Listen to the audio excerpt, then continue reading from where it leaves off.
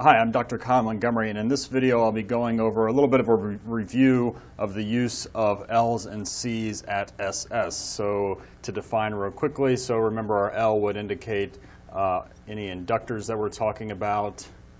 Uh, that's what we indicate by L's. Uh, C for capacitors.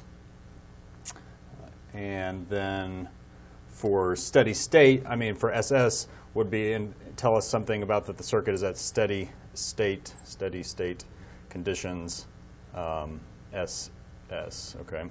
And then sort of further specifically talking about when we're talking about steady state, in this, uh, well, what I'll be talking about right now is specifically under the condition of uh, the DC case, uh, so indicating direct current, um, again, as opposed to alternating current AC analysis, which um, is not what we're talking about right now. So under DC, so-called DC steady state conditions, sort of just recapping what's going on with inductors and capacitors in the circuit, all right?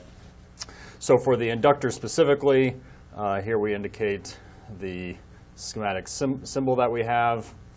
Um, if we indicate some voltage plus to minus across here, it would indicate current flow in the same direction, current flow I in this case, and we have defined then how the voltage relates to the current through the expression V equals L times di dt. So hereby meaning the change in current with respect to time is going to tell us something about how the voltage is going to change through this term L, where this L specifically is the so-called self-inductance term um, of the inductor, self-inductance. Okay, so then uh, aside from that, or basically if we were to rearrange, if we wanted to know what the current uh, through an inductor was as a function of the voltage, we could uh, swap this equation around, do a little bit of an integration factor, and come up with the expression that uh, I of t, let's say here specifically, equals 1 over L times the integral from over our time range, whatever that might be specified as, uh, times the voltage over some differentiation or integration term d tau plus whatever the initial current was I uh, at t naught here specifically. Okay, so again, this tells us what the voltage would be what would be doing in the inductor and what the current would be doing again with respect to each other. Now, when we talk about the DC steady state condition, the important thing to keep in mind is what does that mean exactly? Well, if it means if we're saying steady state, then that means there's no changes in our voltages or currents with respect to time. So if we look at this relationship here telling us what's going on with the uh, voltage with respect to the current, we see that it has to be, the current needs to be changing with respect to time in order to induce uh, some voltage, right? So therefore, if we're in the steady state condition, then this term goes to zero, okay? So we have no change with respect to time. So that derivative would have to be zero. And therefore, that tells us that our voltage also has to go to zero, okay? Now, what does that mean and when we're talking about doing some circuit analysis, right? Well, if we had a circuit, um, let's say a voltage source here, and some resistor in series there, and then I had an inductor here in series, just a single loop um, right there. Uh, if this was Vs, let's say just R1, and this is our resistor L and plus to minus the voltage across there. Well, if I said that this circuit was at steady state, DC steady state condition, um, thereby knowing that the, the current through this loop has to be continuous, it's not changing with respect to time, therefore that tells me that this voltage V is going to go to zero, which we remember what we've talked about, uh, what that means exactly. That means that this inductor is more or less acting as a short circuit, okay? So another way we could just draw this is to just imagine us putting a short circuit through that inductor and then doing analysis to basically, now we could calculate the current flow through this loop by simply taking this voltage and this resistance and thereby indicating um, some current flow around that loop. Uh, again, based on the fact that we're talking about the steady state condition. So the transient response, which would tell us what's going to happen um, as, as things are sort of leveling out or stabilizing, uh, that, that'll be a different topic of discussion. But here we're just simply talking about the case where we're under the steady state condition so we can treat. So I'll write, um, let's say, at the DC steady state condition, DCSS, um, the inductor uh, basically be behaves or acts as a short circuit. Okay. So this is just a key kind of point to keep in mind when uh, you're looking at a problem and it says that you're under the steady state condition, then you would know that you can treat any of your inductors as short circuits.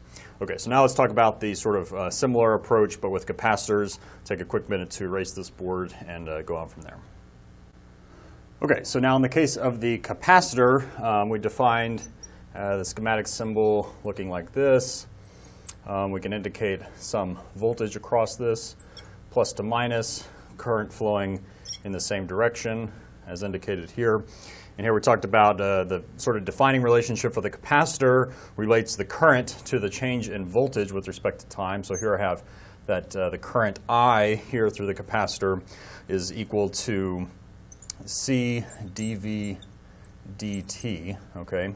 So here, again, similar to how we saw the voltage in the, in the case of an inductor, we saw that the voltage um, had some effect or was changing with respect to changes in the current. Here, with the case of a capacitor, it's the current that's going to be affected by any changes in the voltage with respect to time.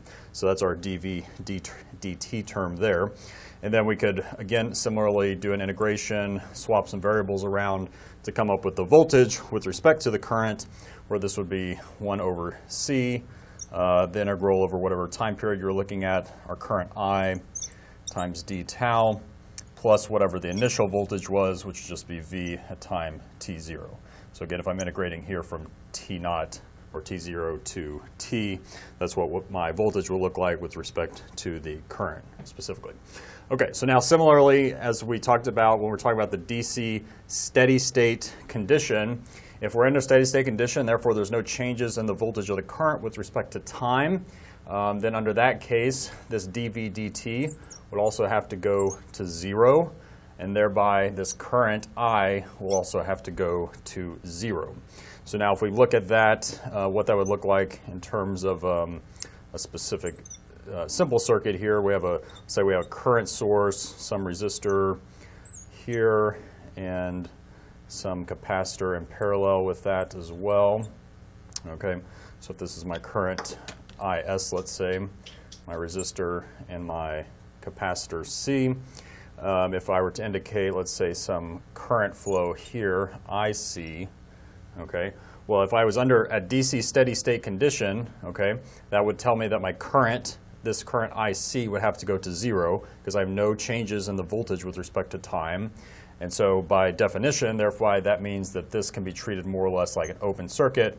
We can more or less just ignore the, uh, the effect of that capacitor once we've reached the steady state condition.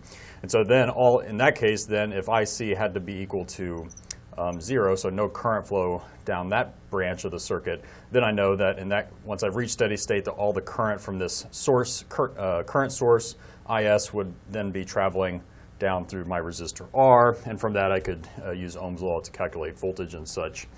Okay, so again, just to kind of re repeat at the DC, uh, DC steady state, that's DCSS condition, the capacitor, capacitor can be treated more or less as an open circuit. Okay. And so that's how, if we're, again, given a problem where we're told that the condition is you're at steady state already, you don't have to worry about the transient response, and you have some capacitors sitting in that circuit, then we can just treat those as an open circuit in our uh, schematic that we were looking at, and thereby do the analysis based on that fact. And, and again, now allow us to, to do the analysis with only having to work with the resistors rather than worrying about the exact impact of the capacitors themselves, okay? So that was just a quick recap, just to emphasize a real key point to understanding uh, the use of inductors and capacitors in circuits, uh, specifically under the DC steady state condition. I'll look forward to see you, seeing you on the next video.